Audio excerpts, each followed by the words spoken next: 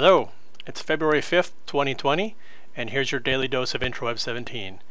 We're still continuing to make fantastic progress on the designer. Yesterday we released a short video showing how you can move buttons around, but that wasn't fully functional. Not just buttons, any control. I can pick up the chart and I can move it. And right now we don't quite have the live preview. You wouldn't think that adds a lot of complication, but it does. So we're going to bring that back someday, but right now it's still pretty visible. You can see what you're moving. You just don't get a full live preview of it. Now this is a typical fixed layout, similar to what you use in, in a VCL application or uh, WinForms where you put it and it stays exactly where you want it. But there are other layouts, which we talked about earlier. For example, these three things right here, there's a text and a checkbox and a button.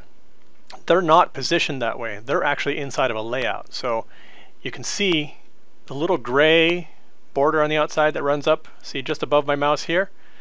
That's a layout.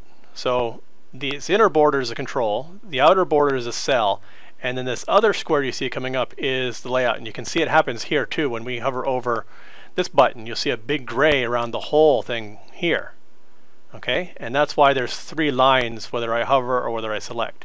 Now what's really cool is if I take this button, I select it to move it, and I can move it around just like I did before. But if I want to move it into another layout, and this layout actually exists inside of the fixed panel. So I can move it as a layout too, and everything inside it moves with it.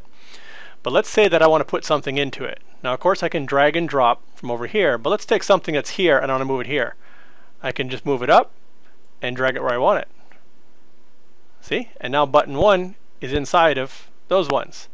Now if I want to move it further, I can drag it and drop it. I can move it up or down just like here, but I can also use these buttons, which make it really easy to move things up and down a small bug with the selection there, but you can see it, it is moving things. It's just not moving the right thing. So small buglet there, but that's what happens when you're in the middle of development.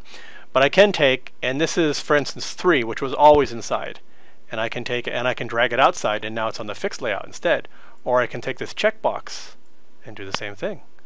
And so that's it for today. Thanks.